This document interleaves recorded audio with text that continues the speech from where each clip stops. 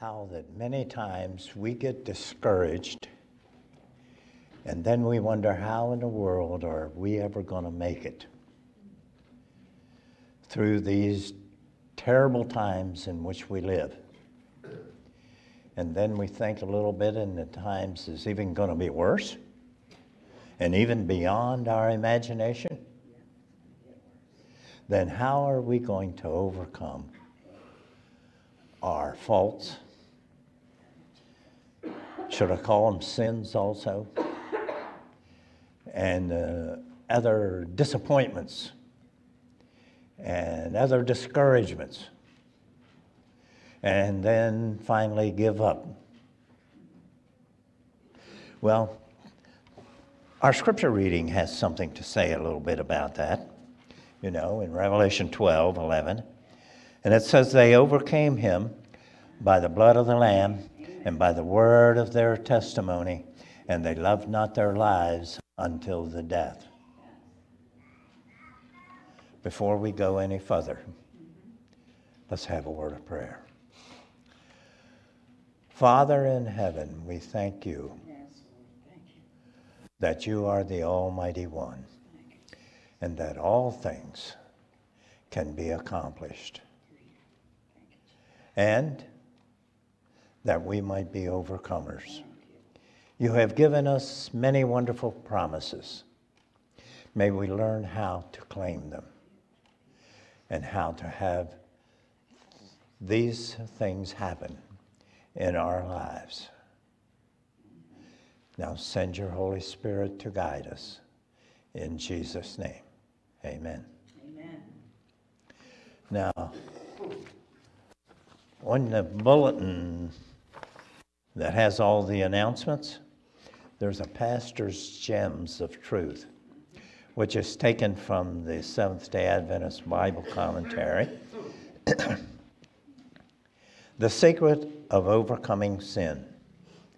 We become overcomers by helping others to overcome by the blood of the Lamb and by the word of our testimony. The keeping of the commandments of God will yield in us an obedient spirit and the service that is the offspring of such a spirit God can accept. Taken from also from the letter 236 and that was written in 1908 by Ellen White. In our scripture reading, and it says that they overcame him. Who's the they?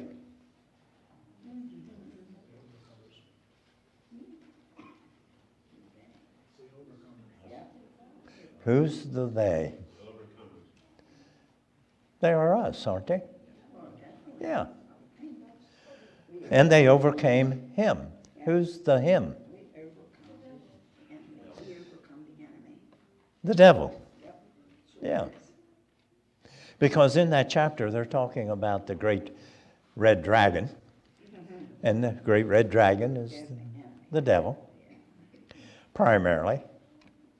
And Ellen White tells us that the great, uh, that the great red dragon is primarily the devil, but secondarily, it was papal Rome and uh, pagan Rome. But to overcome him, and he's the greatest, our greatest enemy. It's by him that all things, all sinful sin in this world became here. He's the author of it. So we need to overcome him by the blood of the Lamb. Now, what's the blood of the Lamb? I asked myself that thing overcome by the blood of the Lamb? Now, I being a mechanic, I always think of using tools to do a job. Well, here's a job to be done to overcome. So, the blood of the Lamb, is it some kind of something that I can use to be an overcomer? Can I use it like a tool to repair something? Well, yeah, something needs to be repaired, and that's my uh, character. So, can I use the blood of the Lamb? Well, how do I go about using the blood of the Lamb to overcome these terrible things in my life? Oh, I've tried often. I've done all kinds of little things to try and get myself in the right pathway and do the right thing. None of it ever seemed to work. So, the blood of the Lamb.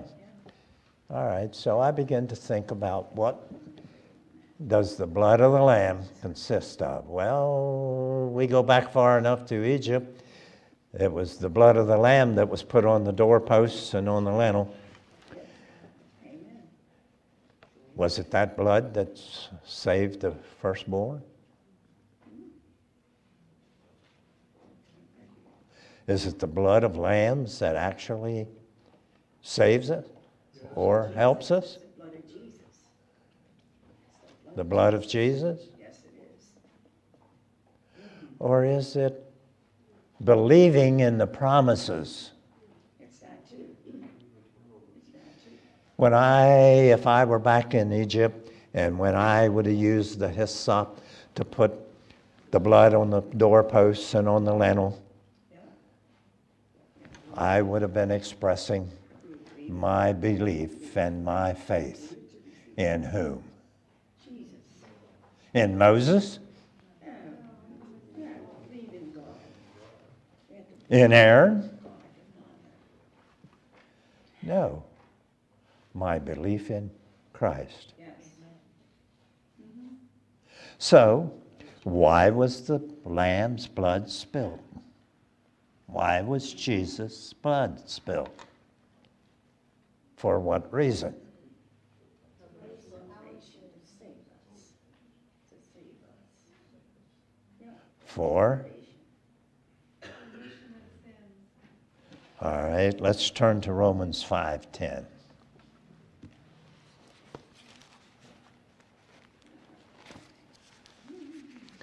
Now you're going to have to give me a little time to do this because my fingers don't work too good anymore. Romans 5.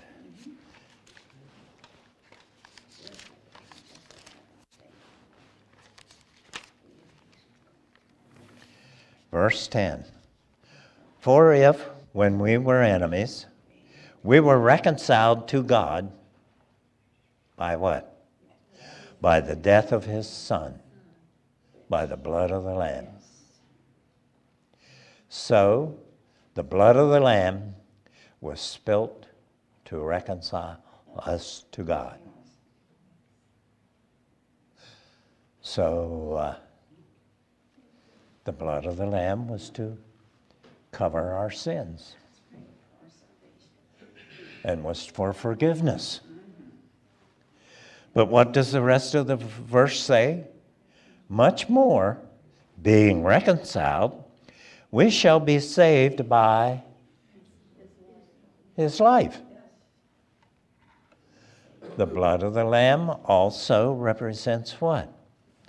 When we turn to Leviticus, I've got to get my paper that I wrote some of these on. Leviticus 17 14, and it tells us there that the blood is the life. So the blood of Jesus represents the life of Jesus. And the life of Jesus, wasn't that from the time he was a babe till the time he was crucified on the cross? Wasn't that his life?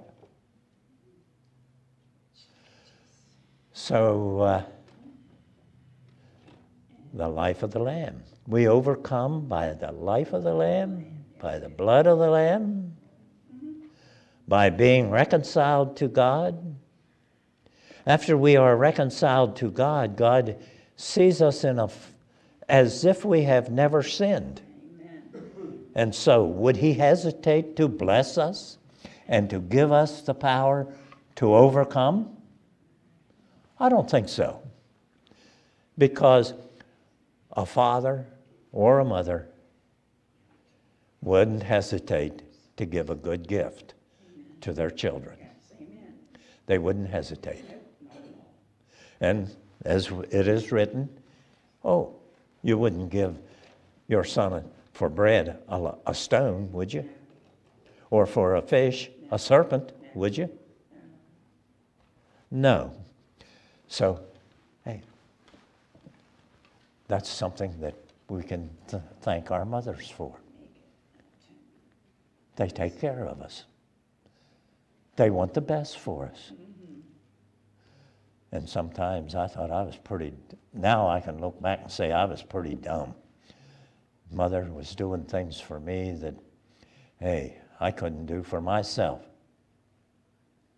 So this is the same way with the Lamb. The Lamb spilled his blood for us to do something for us that we can't do for ourselves. So, in this way, a mother and a father represents or demonstrates to us what God is like and what the Lamb is like. Because Jesus and God were one. Okay, now let's turn to Colossians uh, 127.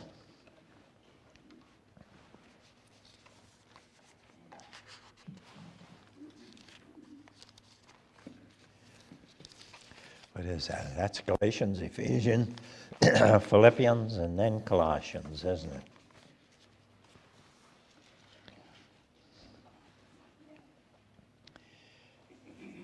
Chapter 1, verse 27.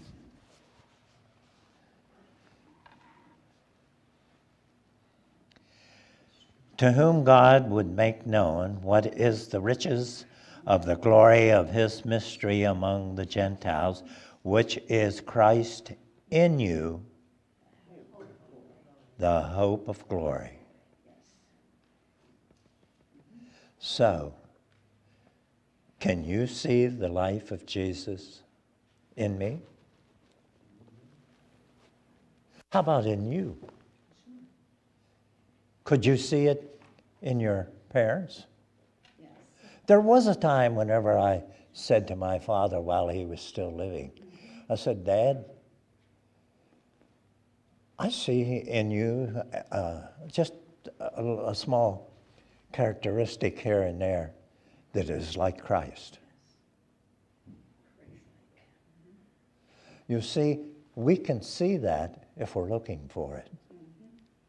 And so it is the blood of the Lamb is Christ in you, the hope of, the, hope of glory. So we overcome by the blood of the Lamb means that we overcome with Christ in us. That's how we can overcome. We don't do it on our own. We do it because we let Christ live in us for that is our hope and glory. Okay, let's look at another part of our, of our verse. And our verse said that uh, by the word of our testimony. What do you think that testimony is? What is that testimony? Oh, that's going out and giving Bible studies. Huh? Oh, that's going telling people all about Jesus. Yes, it is. The craziest thing. Oh, yes, that's part of it. But there is a part that some that all of us can do. Every one of us. Did you ever hear that saying that a, a picture is worth a thousand words? Yeah, it is. Mm-hmm. Okay. If, what kind of picture are, are you seeing when you look at me?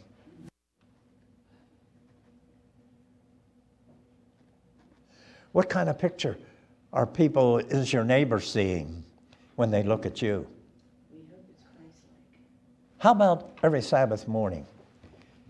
You get awake and you say, hmm, I don't feel too good today. I think I'll stay at home. What kind of picture are you painting? Don't tell me. Uh, but suppose I decide, oh, well, I'm, I'm going to get up and go to Sabbath school. Today's Sabbath, and so I'm going to go to Sabbath school. So I get up and I dress and I begin to look at some of the clothes. Well, I, I th- well, maybe I ought to wear the best clothes I have, because isn't Christ in me? Isn't He the my King? Isn't He my Redeemer? Isn't He the Almighty God? So I put on my best clothes. They may not look the best to someone else, but they're the best I have. And so I go to Sabbath school and church. I come in, oh, about 15 minutes after the service starts, or just in time so I'm here to hear what the preacher has to say, and don't listen to me. Wouldn't you think it would be honoring Christ to be here on time? Yes. Do we go to the doctor's office on time or do we go 15 minutes late? Well, there's one time I know you won't be late, and that's at your funeral. You won't be late then. But please, paint a picture that Jesus is important Amen. and that He is the glory that is found in you. That's His glory. Now, that brings about obedience. So, the word of my testimony is seen in my obedience. My obedience to the commands of God. And, well, I'll wait until I'm old, then I'll do it. God tells us to do it while I'm still young and while I'm still capable of doing it. All right. That's the beginning. Because in our pastor's gems of truth, it says the keeping of the commandments of God will yield in us an obedient spirit. And the service that is the offspring of such a spirit, God can accept. Oh. Then I guess uh, that obedience is what God will accept. And so I need to paint that picture because that's even worth a thousand words. It's more than what I can even, well, let's say I go down the street and now I'm trying to tell people about Jesus. Hey, if they can't see it in me, and if they don't know I have, haven't been with uh, Jesus as I go to down the street to my neighbors and talk with them, hey, if they can't see it, they're not going to be interested in it. So, and for me to be able to share Jesus with you or with anyone, he's got to live here within me. And so he tells us that the hope of glory is Christ in you. And 2 Peter 1 4 tells you that through these promises that God has given us, we can become a partaker of the divine nature. Now, what is the divine nature? Was Jesus obedient to the Father? Yes, Well, that must be part of it, amen. of the divine nature. So, through these precious promises that God has given for us, we will be able to partake and become and become overcomers. Mm-hmm. Amen.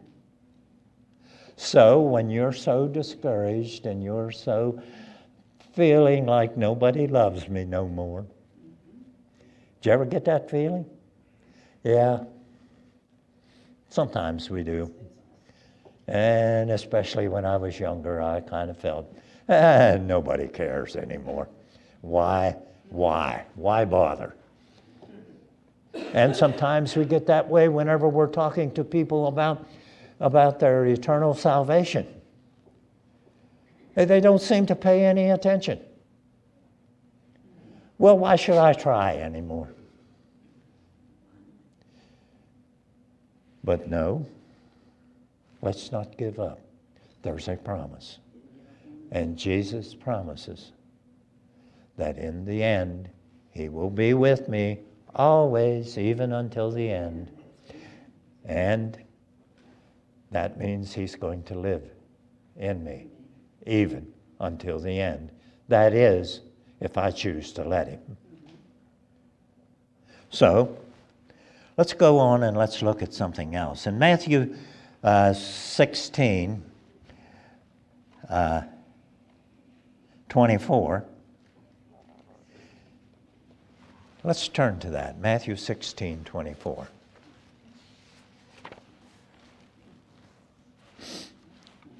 No, it's not Matthew 24, it's Matthew 16, 24.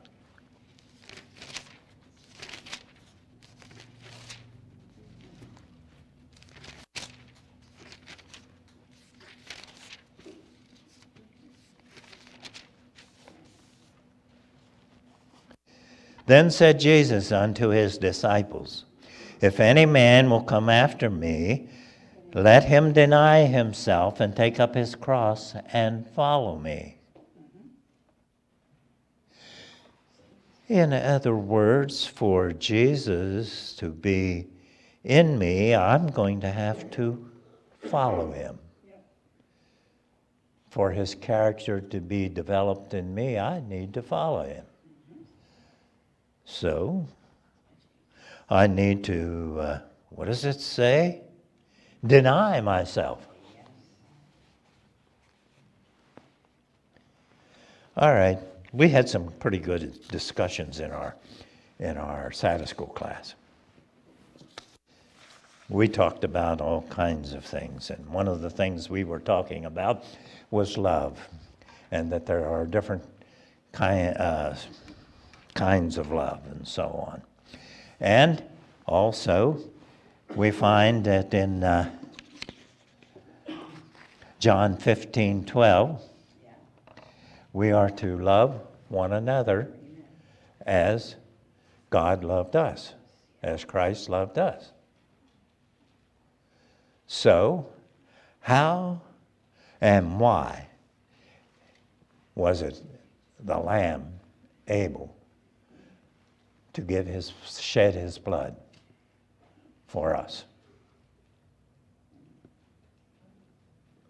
What drove him to shed his blood for us?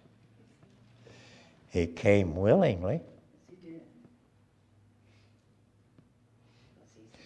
And he said on the cross himself, he said, Father, forgive them, for they know not what they're doing. What, what was behind him that caused him to do such a thing? What kind of love? I heard someone say agape love. All right, I'm going to ask you another question. What's agape love?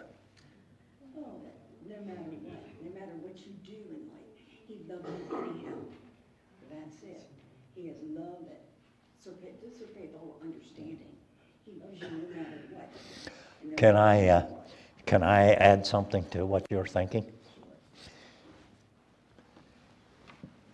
God's love, agape love, mm-hmm. is self sacrificing love. A self sacrificing love. Did not the fa- John 3:16 did not the father so love the world that he gave his only begotten son Oh, he could have said, let them men die.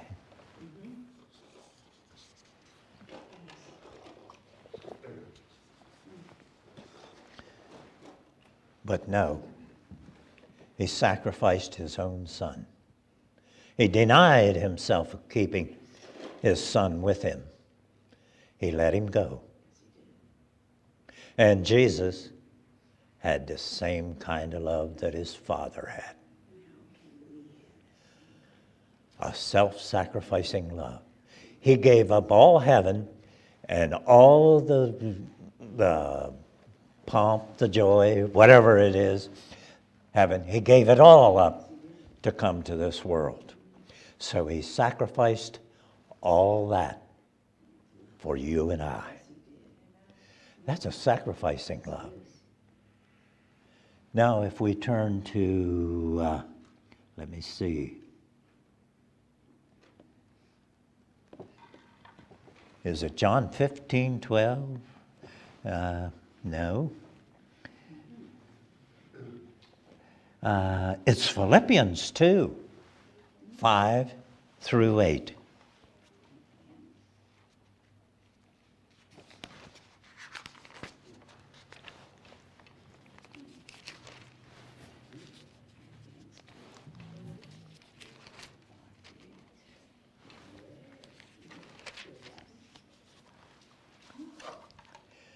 starting with verse 5 in Philippians 2, says, Let this mind be in you, which was also in Christ Jesus, who, being in the form of God, thought it not robbery to be equal with God, but made himself of no reputation, and took upon him the form of a servant, and was made in the likeness of men. And being found in fashion as a man, he humbled himself and became obedient unto death, even the death of the cross. What did our scripture reading say? They overcame by the blood of the Lamb and by the word of their testimony and they loved not life even unto death. They also possessed that self sacrificing love. That's also a part of overcoming, of how we uh, can overcome. We can overcome because we sacrifice something.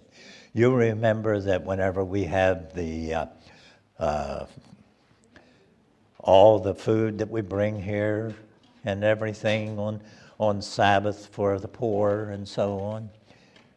All that food and everything, you had to do without something to bring it.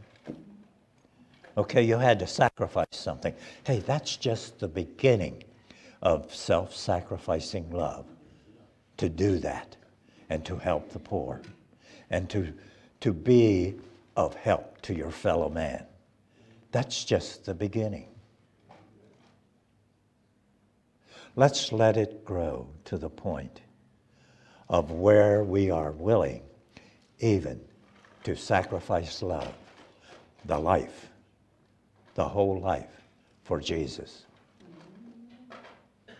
Boy, that's strong words. I ain't too sure I can live up to that. So I'm in the same boat as you are. I need the blood of the Lamb to overcome. Not only that, but I need the life of Jesus in my life. I need Him to have control of me. Because if He doesn't have control of me, then Satan will. And our scripture reading was that we overcome him, Satan, by the blood of the Lamb and the word of our testimony. Mm-hmm.